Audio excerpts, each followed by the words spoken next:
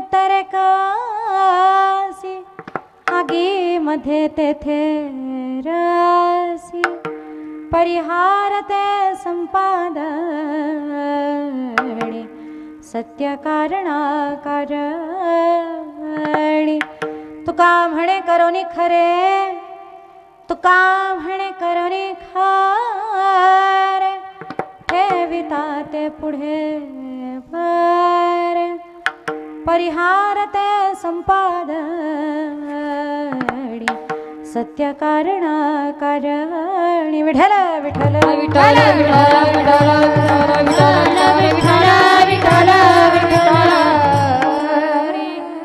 यतिरूपदत्तात्रया दण्डधार्य पदी पादुका शोभते सौख्यकार्य. तया सिन्धुजाची पदे दुःखहार. तुम्हा वीण दत्ता मला कोण तारे। महायोग पीठे तठे भीमरथ्या।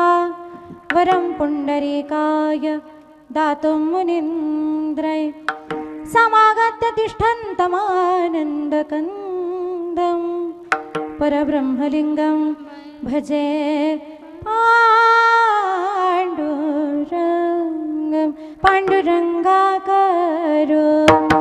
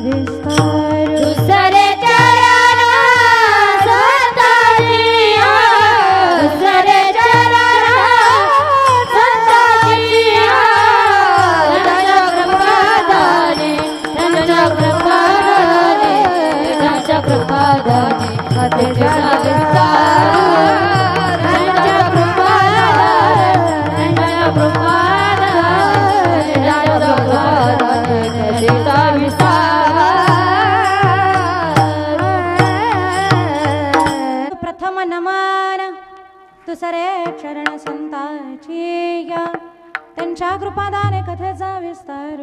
बाबाजी सद्गुरुदास तुका। चयांचे केलिया स्मरण।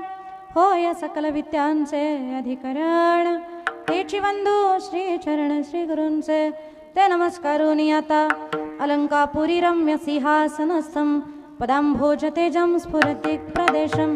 विधीन्द्रादिदैवं सदा स्तूयमानं समाधिस्थमूर्तिं भजे ज्ञानदेवं नमामि सद्गुरुं शान्तं सच्चिदानन्दविग्रहं पूर्णब्रह्मपरानन्द मेषमालन्दिवल्लभम्। ॐ नमो ज्ञानेश्वरा ज्ञानेश्वरा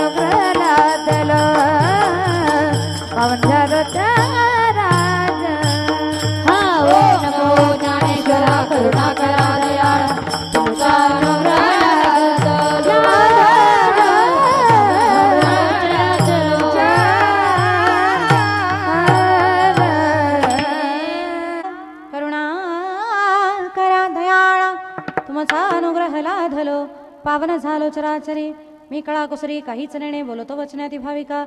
एका जनार्दनी तुमचा दास त्याची आस पुरवावी. नमो सद्गुरु तुकया ज्ञान दीपा.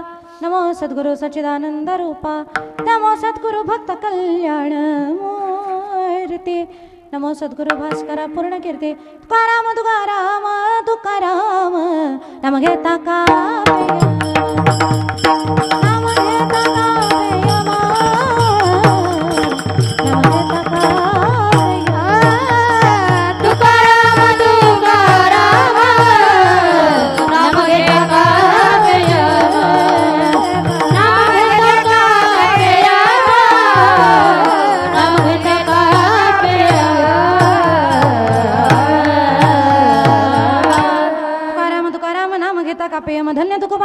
जेणे केला हा पुरुषार्थ जळी दगडा सैतवया तारी गेल्या जैसा लाया म्हणे रामेश्वर भट्ट द्विजा तुका विष्णू नाही तुझा विठाल विठाल विठाला विठाला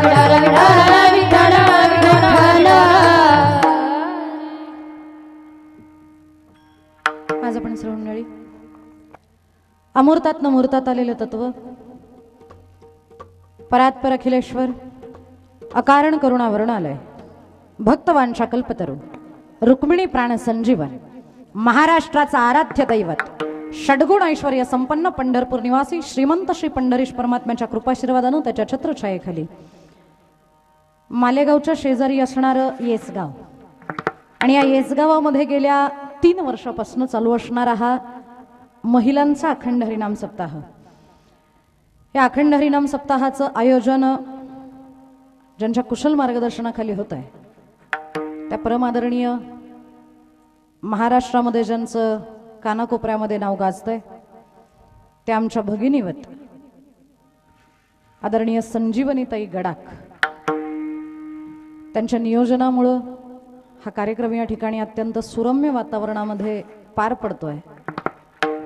वातावरण सुंदर आहे असं म्हणण्याचं कारण इथे मंगलताही आहे दिव्यताही आहे आणि रमणीयताही आहे.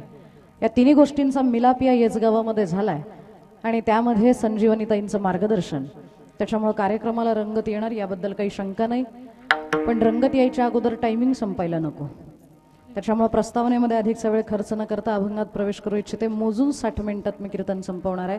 त्याच्यामुळं अधिकचा वेळ घेण्याचं काही प्रयोजन नाही काही कारण नाही. अत्यंत वेळेला वक्तशीरपणानं कीर्तन सोडणार आहे. कारण वक्तशीरपणानं इमाने इतबारे आलेली आहे. त्याच्यामुळे इमाने इतबारे कीर्तनही वेळेमध्ये सोडणार आहे.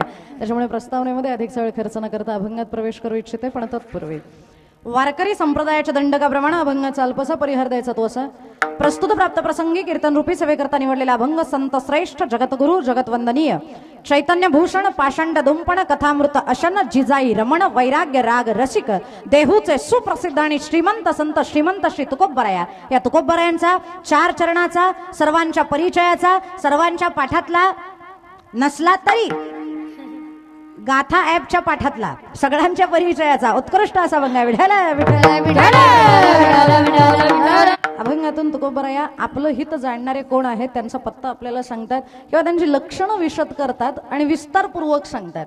या सध्या कलियुगामध्ये प्रत्येक मानवी जातीला एकच इच्छा आहे एकच त्याची वासना आहे एकच आकांक्षा आहे अभिलाषा आहे. नित्य निरामय निरतिशय प्रमानंदाची प्राप्ती आणि दुःखातून अत्यंतिक निवृत्ती. सुखाची प्राप्ती व्हावी आणि मज लागी दुःख व्हावे ऐसे कोणी भाविना जीवे. म्हणजे कोणालाही असं वाटत नाही की मला दुःख व्हावं. प्रत्येकाला वाटतं की मला सुखाची प्राप्ती झाली पाहिजे आणि मिळालेलं सुख हे नित्य असावं शुद्ध असावं बुद्ध असावं. सदघन चिदघन आनंद घन ते असं असावं. पण त्या सुखाची प्राप्ती होत नाही कारण ज्या ठिकाणी सुख नाही अशा ठिकाणी सुख शोधण्याचा आपला प्रयत्न चालू आहे. मग सुख नेमकं कुठं आहे? मग आपलं सुख कशात आहे? म्हणजे नेमकं माणसाचं हित कशात आहे? माणसाचं सुख आणि हित या दोन्ही समानार्थी बोल आहेत असं म्हणायला काही हरकत नाही. माणसाचं सुख नेमकं कशात आहे? म्हणजेच हित कशात आहे? हे माणसाला माहीत नाही. काही जणांचा गैरसमज आहे. भला मोठा कोटीचा बंगला बांधला म्हणजे कदाचित माझं हित होईल. काही जणांना वाटत असेल पाच पन्नास लाख बँक बॅलन्स असला म्हणजे माझं हित होईल. मुलगा खानदानाला चांगला लाभला म्हणजे माझ्या जीवनाचं हित होईल. किंवा अचानक कोटभर रुपयाची लॉटरी लागली तर माझं हित होईल. चांगली देखणी बायको अख्ख्या गावात कोणाची नाही अशी मला मिळाली तर कदाचित माझं हित होईल. या ज्या सगळ्या हिताच्या संकल्पना आहेत त्या भ्रामक आहेत आणि चुकीच्या आहेत या सगळ्या कल्पना म्हणजे हित नाही. मग हित म्हणजे नेमकं काय? हित होण्यासाठी माणसानं काय केलं पाहिजे? हेही तुकोबराय सांगतात. हित ते करावे देवाचे चिंतन. करुणीयामन एक विध एक विध. वेळ कमी असल्या कारणानं शॉर्टकट हित ते करावे देवाचे चिंतन. करो नियमन एकविध. भगवंताचं चिंतन करणं यातच आपलं हित आहे आणि आतापर्यंत केलं नसेल हरकत नाही. झाले गेले पाहू नका त्याला जामीन आहे तुका पण इथून पुढे तरी करा. Don't think about your past because it is straight don't think about your future because it is unknown but don't miss your present because it is golden so lock your past and enjoy your present याचा मराठीत अनुवाद असा आहे. तुमचा गेलेला क्षण हा गेलेला आहे. तुम्ही कितीही करोडपती असलात ना तरी तुम्ही गेलेला क्षण खरेदी करू शकणार नाही येणाऱ्या क्षणाचाही विचार करायचा नाही. कारण येणाऱ्या क्षणामध्ये आपण जगू याची काही गॅरंटी नाही. म्हणून जे काही करायचे ते आत्तापासून करा. Your time start now so you should start now तुमची वेळ चालू होते आत्ता. म्हणून तुम्ही परमार्थही चालू केला पाहिजे. आत्ता नाव म्हणजे आत्ता या क्षणाला कीर्तन चालू या क्षणाला चिंतन चालू करा. काही जण एक आय टी इंजिनियर मुलगा मला कीर्तन झाल्यानंतर भेटला आणि मला सांगितलं त्यानं ताई तुमच्यासारख्यांना या सगळ्या गोष्टी जमू शकतात आमच्यासारख्यांना जमत नाही. पण त्यानं थोडक्यात कॅटेगरीज क्रिएट केली होती. तुमच्यासारख्यांना जमू शकतं ना आमच्यासारख्यांना नाही. म्हणजे? तुमच्यासारख्यांना म्हणजे म्हणे ताई तुम्हा कीर्तनकारांना दुसरी काही काम आहेत का? ते कीर्तन करा प्रवचन करा भजन करा हरिपाठ करा सप्ते करा. तुम्हाला दुसरं काही कामच नाही. म्हणजे आम्हाला घरं नाही दारं नाही प्रपंच नाही शिक्षण नाही नोकऱ्या नाही व्यवसाय नाही. आम्हाला म्हणजे देवाला सोडून दिलेला आहे. असा जर काही गैरसमज असेल तर तो गैरसमज पहिला दूर करून टाका. कारण कीर्तन करायला सुद्धा घर आहेत दार आहेत प्रपंच आहेत सगळं काही आहे. पण सगळ्यातनं वेळ काढून कामामध्ये काम काही म्हणा रामरामा असं म्हणतो तरी समाज आम्हाला रिकम टिकडे समजतो. खा- एकानंतरमध्ये मला मेसेज केला होता. म्हणजे जो मुलगा first class with distinction pass out होतो ना म्हणजे जो अबोव ड्युटी वगैरे जातो तो कलेक्टर होतो. जो सेव्हन्टी फाय पर्सेंटेजला पास होतो म्हणजे जो पंच्याहत्तर टक्के पाडतो ना शाळेमध्ये तो स्वतःचा उद्योग चालू करतो बिझनेसमॅन होतो. जो सिक्स्टी फाय अच्या अबोव जातो म्हणजे जो पासष्ट टक्क्याच्या वर जातो ना तो विद्यार्थी मग नोकरी करतो वीस पंचवीस हजार रुपये कमवतो. जो मुलगा पस्तीस टक्क्यावर नापास होता होता राहतो म्हणजे थोडक्यात काठावर पास होतो तो पॉलिटिशियन होतो म्हणजे तो राजकारणी होतो. आणि जो नापासच होतो ना तो डायरेक्ट बुवा होतो आणि वरची सगळी चारी जण मग त्या बुवाच्या पाया पडतात. त्याला असं म्हणायचं होतं की कीर्तनकाराला पस्तीस टक्के पाडणे इतकी सुद्धा अक्कल नाही. त्याच्यामुळे असा ज्यांना गैरसमज असेल की कीर्तनकारांना अक्कल नाही कीर्तनकारांना दुसरं काही येत नाही आम्हाला पोट भरण्यासाठी दुसरी साधनं नाहीत म्हणून हे करत असू तर हा सगळा गैरसमज दूर करून टाका. कारण आमच्या वारकरी संप्रदायातले बरेचसे कीर्तनकार हे वेल एज्युकेटेड आहेत उच्च विद्या विभूषित आहेत. काही कीर्तनकार डॉक्टर आहेत काही कीर्तनकार इंजिनियर आहेत. गरजे नावाचे कीर्तनकार आहेत. आता सध्या ते नवी मुंबईला कलेक्टर या पोस्टवरती आहेत. पण कलेक्टर असताना सुद्धा कीर्तन करतात कारण ज्ञानोबा तुकोबांच्या विचारांचा हा प्रभाव आहे. विठाला विठाला. विठाला लोक म्हणतात ताई दुसऱ्यांचंच सांगतात. तुम्ही काय बारावी नापास आहे का? असं काही नाही आहे मी स्वतः बी एस सी केलंय मायक्रोबायोलॉजीमधनं एम बी ए केलंय एच आरमधनं उद्या जरी कीर्तनं सोडली ना तरी साडेतीन लाखाचं इयरली पॅकेज कोणतीही आय टी कंपनी मला देऊ शकते. मी माझ्या पायावरती उभी आहे. आणि माझं स्टँड एकदम भरभक्कम आहे पण तरी त्याला लाथ मारून कीर्तन करण्याचं कारण पाच पिढ्यांची परंपरा. आणि आम्ही नाही हे करायचं तर कुणी करायचं? हा ज्ञानोबा तुकोबांच्या विचारांचा प्रभाव आहे म्हणून हे करायचं आहे. पण तरी लोक आम्हाला गैरगुजरे समजतात. आम्हाला दुसरं काही जमत नाही म्हणून पाकिटासाठी कीर्तन करतो. सगळा गैरसमज आहे. पहिले डोक्यातनं काढून टाका. कीर्तनकार सुद्धा वेल एज्युकेटेड आहेत उच्च विद्या विभूषित आहेत. आणि आत्ताच्याच कीर्तनकारांच्या भुशारक्या सांगत नाहीत ही आमच्या संप्रदायाची परंपरा आहे. म्हणजे ज्या काळामध्ये पावकी निमकी दिडकी हे शिक्षण होतं ज्या काळामध्ये सातवी बोर्ड होता त्या काळामध्ये परमपूज्य प्रातस्मरणीय वैकुंठवासी जोग महाराज यांचे परमशिष्य परमादरणीय वैकुंठवासी मामासाहेब दांडेकर हे त्या काळातले डॉक्टर येत आहेत. डॉक्टरेट म्हणजे डायरेक्ट पीएचडी त्यांनी केली होती. आणि तो काळ इतका कठीण की सातवी पास झालेला विद्यार्थी मुख्याध्यापक व्हायचा. माझे स्वतःचे आजोबा फक्त सातवीच पास होते पण तरी मुख्याध्यापक म्हणून जिल्हा परिषदेच्या शाळेवरती शिकवायला होते. आणि सातवी पास झालेला विद्यार्थी जिथं मुख्याध्यापक व्हायचा त्या काळामध्ये मामासाहेब दहावी पास झाले बारावी पास आउट झाले ग्रॅज्युएट झाले पोस्ट ग्रॅज्युएट झाले त्यानंतर त्यांनी एम फिल केलं त्यानंतर पीएचडी केली डॉक्टरेट झाले सप्प विद्यालय फर्ग्युसन विद्यालयामध्ये फिलॉसॉफी या विषयावरती तत्वज्ञानाची ते लेक्चर द्यायचे लेक्चरर म्हणून रुजू होते पण तरी कीर्तन करायचे कारण ज्ञानोबा तुकोबांच्या विचारांचा प्रभाव विठाल विठाल विठाला विठाला सगळं एवढं सांगायला फक्त कारणच आहे. म्हणजे लोकांना असं वाटायला नको की आम्हा कीर्तनकारांना दुसरं काही येत नाही म्हणून हे करतो. पण ते आय टी इंजिनियरनं मात्र या दोन कॅटेगरी केल्या. तुमच्यासारख्यांना जमतं आमच्यासारख्यांना जमत नाही. म्हणलं चल ठीक आहे आम्हाला काही कामं नाहीत. पण तुला तरी नेमकं असं काय काम आहे? तर म्हणला ताई आठ तास कामाला जातो मी. म्हणलं तरी सोळा तास शिल्लक राहिले. तर म्हणला ताई बारा तास झोपतो म्हणला. म्हटलं वाटोळच याच्या आयुष्याचं. बारा तास झोपतो म्हणजे निम्म आयुष्यानं झोपीत घालवलं पाण्यात घालवलं. तरी सुद्धा म्हणलं चार तास शिल्लक राहिले. चार तासात काय करतो? म्हणे ताई दोन तास किमान स्नान संध्या जेवण घरातली कामं बायकोला जर मदत बिदत करू लागतो. आणि एक मजा सांगते उच्च विद्या विभूषित जी मुलं आहेत ना ती पन्नास टक्के घरातली कामं करतात. फक्त दार लावून करतात कुणाला कळू देत नाहीत पण कामं करतात हे मात्र निश्चित आहे. आणि केलंही पाहिजे. ज्याला संसार सुखाचा करायचा आहे त्यानं बायकोला थोडंफार तरी काम करू लागलं पाहिजे. बायको जर धुणं धुत असेल तर नवऱ्यानं भांडी घासली असं माझं म्हणणं नाही आहे पण किमान ती काम करते ना तर ॲटलिस्ट तिचं कौतुक तरी करा. म्हणजे पाठीवरती हात ठेवून फक्त काम कर म्हणा. म्हणजे फक्त लढ म्हणाय पण फक्त काम कर म्हणा एवढं जरी केलं ना तरी त्या समाधानी राहतील आणि आतापर्यंत जेवढं काम करत होत्या त्याच्यापेक्षा दुप्पट करतील. पण कौतुक तर राहू द्या त्यांचं. विठाल विठाल विठ्ठल विठ्ठल. त्यानं सांगितलं ताई बायकोला काम करू लागतो. आणि म्हणलं बाबा ठीक आहे बायकोला काम करू लागणं चुकीचं नाही आहे स्नान संध्या विधी दोन तास गेले. म्हणलं तरी बाळा दोन तास शिल्लक राहिले. त्या दोन तासात काय करतो? त्यानं सांगितलं ताई मी एकविसाव्या शतकातला तरुण आहे. आणि एकविसाव्या शतकातला तरुण कसा एकदम अपडेट पाहिजे. ए, सगळे जे काही सोशल मीडिया आहेत त्या सगळ्या वाचण्यासाठी वेळ देतो. व्हॉट्सअप आहे फेसबुक आहे ट्विटर आहे इंस्टाग्राम आहे या सगळ्या गोष्टी मला वाचाव्या लागतात. त्याच्यासाठी दोन तास देतो. म्हणजे मी त्या दोन तास त्यानं त्याच्यासाठी सांगितल्यानंतर हँगच झाले. दोन तास मोबाईल वापरण्यासाठी दोन तास देण्या इतकं असं काय महत्वाचं त्या मोबाईलमध्ये? आणि आत्ताची जी तरुण पिढी म्हणजे ओघानं विषयाला आहे माझा मुद्दा नाही कीर्तनाचा तो पण ओघानं विषयाला आहे म्हणून सांगते. हात जोडून विनंती आहे बा माझी. अँड्रॉइड फोन वापरणाऱ्यांना सांगणे मोबाईल वापरणं जरा कमी करा. कारण पुण्या पुण्यामध्ये टिळक नावाचे एक डॉक्टर आहेत. त्या डॉक्टरांनी मध्ये सकाळच्या पेपरला संपादकीयमध्ये एक बातमी टाकली होती की सध्या अँड्रॉइड फोन वापरणारी मुलं ही नव्वद टक्के मेंटली डिस्टर्ब आहेत. म्हणजे मानसिक रोगी झालेली आहेत. कारण मी काय वागतोय हेही त्यांना कळत नाही. चार लोकांमध्ये त्यांच्या कानाखाली जरी कोण पटकन वाजून गेले ना तर कोण वाजून कुठं गेलं हेही त्यांना सांगता येत नाही. इतकी डोकी त्यांच्या मोबाईलमध्ये घातलेली असतात. कीर्तनात बसल्यानंतर सुद्धा काय काय त्या मोबाईलमध्ये चेक करतात? काय चाललंय? बोरिंग कीर्तन. नाहीला जास्त बसलोय. आलातच कशाला? इथं येऊन जर चॅटिंगच करायचं तर कीर्तनालाच येऊ नका. काही काही जण तर मैतीला गेल्यानंतर सुद्धा फोनवर बोलत असतात. मला तर अशांचं कौतुकच वाटतं. त्या मेलेल्या माणसाने उठून म्हणायला पाहिजे ए बाबा शांततेत मर जळतोय जरा मर उत्तर दे ना समाधानानं. का ते फोन वाजवतोय इथं? असं एखादं प्रेत उठून बोललं ना मग हे जरा वटणीवरती येतील. पण दैवदुर्वशात तसं होणार नाही. काही का असे पण लोक स्मशानात गेल्यानंतर सुद्धा फोन बंद करत नाही. हे केवढं मोठं दुर्दैव आहे.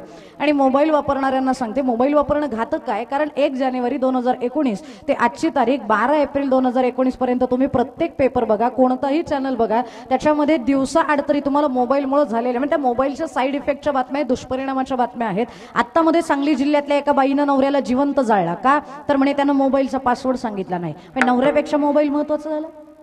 नवऱ्याला जिवंत जाळण्या इतकी हिंमत होऊ शकते फक्त मोबाईलमुळं आत्ता मुंबई मुंबईला तेवीस आणि चोवीस वर्षाच्या तरुणांनी गळफास लावून आत्महत्या केली गेम खेळता खेळता. सांगता येईल का कोणाला ती कोणती गेम होती? पोरं गेम खेळता खेळता आत्महत्या करतात ती गेम माहिती आहे का? नाही माहिती इथं कोणाला? कोणालाच नाही माहिती? जर माहिती नसेल ना तर तुमच्या गावाचा नारळ देऊन सत्कार केला पाहिजे. कारण खरंच अजूनही ॲडिक्ट नाहीत असं म्हणावं लागेल. पबजी नावाची ती गेम होती. पबजी आणि ब्लू वेल नावाच्या गेम आहे. त्या गेम खेळता खेळता पोरं मेली. अरे गेमपेक्षा जीव महत्त्वाचा आहे. तेरा वर्षाच्या मुलानं म्हणजे अवघ्या आठवीमध्ये शिकणाऱ्या मुलानं गळफास लावून आत्महत्या केली. का तर आईनं मला गेम खेळायला मोबाईल दिला नाही. अरे एवढा जीव वर आलाय तुमचा की मोबाईलसाठी तुम्ही आत्महत्या करायला निघाले.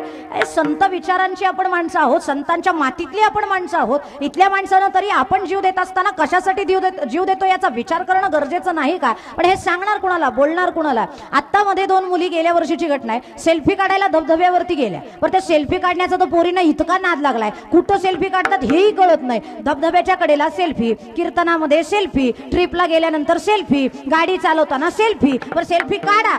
त्या स्टेटसला टाकू नका कारण सेल्फी काढताना तोंड नीट ठेवत नाहीत. तोंड त्या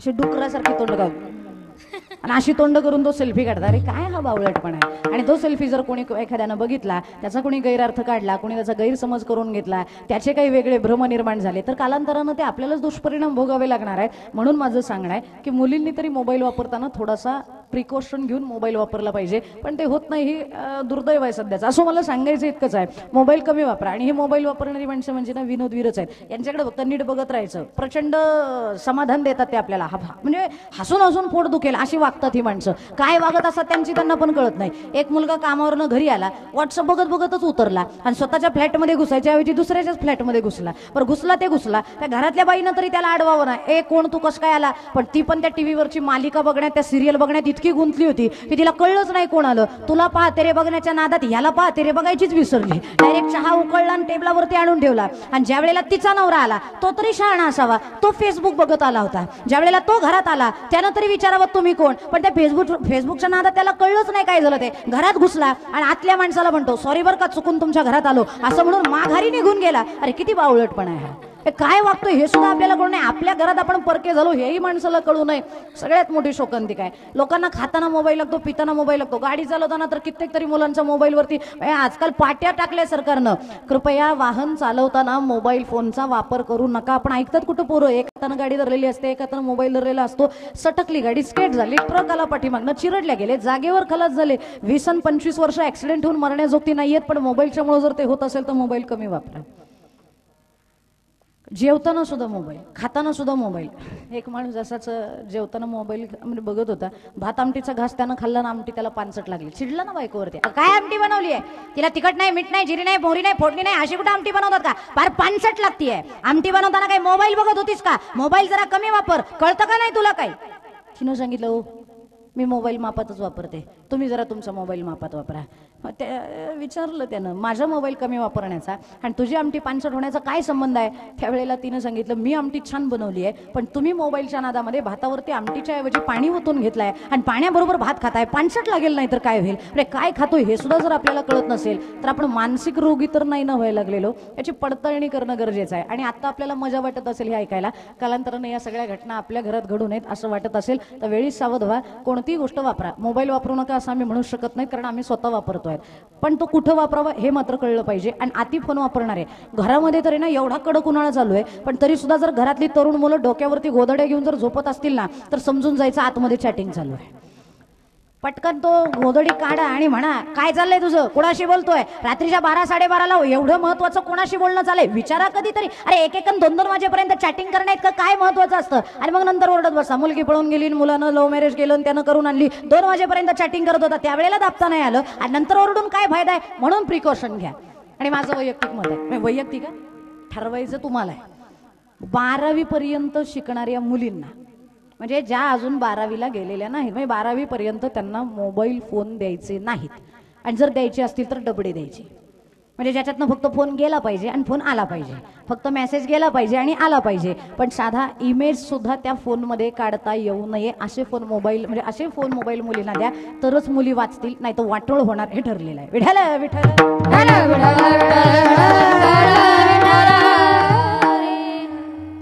जाऊ द्या अभंगाच्या वेगळं बोलण्याची मला सवय नाही आहे पण आवर्जून बोलले कारण या सगळ्या गोष्टी मनाला विषण्ण करणार आहेत. आणि समाज कुठं जर रसातळाला जात असेल तर आम्ही कीर्तनं नुसती करून काय फायदा आहे? संत विचार समाजापर्यंत पोचवायचे असतील तर पहिल्यांदा काय करू नका हे सांगितलं पाहिजे त्याच्यानंतर काय करा हे सांगितलं पाहिजे म्हणून हा विषय बोलले मी. इथून पुढं चॉईस इज युअर्स मोबाईल वापरा वापरू नका नाहीतर अजून चार चार खिशात घेऊन फिरा. आम्हाला काय करायचे फक्त